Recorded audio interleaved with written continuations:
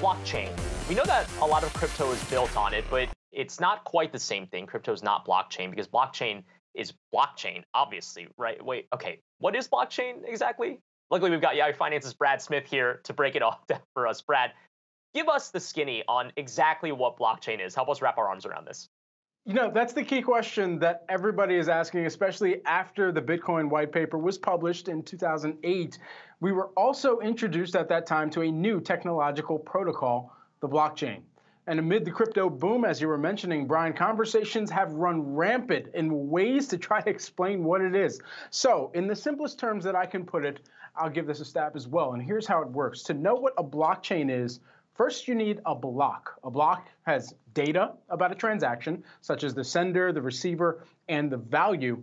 A block also has what's called a hash, which is essentially an identifier, okay? So you've got the data about the transaction and you've got the identifier, and that identifier for the block is what's used every time a new transaction is initiated, and those new transactions create the chain over time. So in plain terms here, think of the blockchain from the combination of blocks, similar to a digital shared document perhaps. Any edits you make to that shared document will continue to be tracked with a detailed history of who the owner is, the date of the transaction, if you will, the time and the changes that were made with a unique identifier for every change of ownership as well. And so within all of this, what is on the blockchain?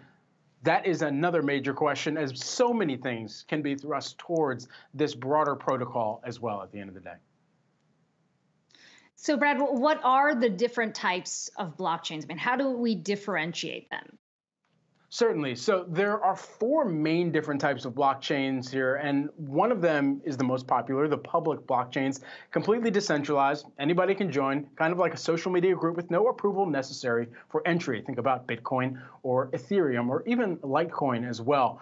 And then you also have a private or managed blockchain on the other hand. They usually have a central authority that decides who can be a node or a participant in that blockchain. And this is more common in some of the solutions that we've seen large entities creating. For instance, you've seen Amazon and IBM start to create their own blockchain solutions. And this really spells out how valuable this market could be in the future as well. Market size is anticipated to be worth $227.99 billion by 2028. That's from the $4.93 billion it was worth in 2021. And business executives are taking initiative to build solutions for their existing business practices based on the blockchain protocol.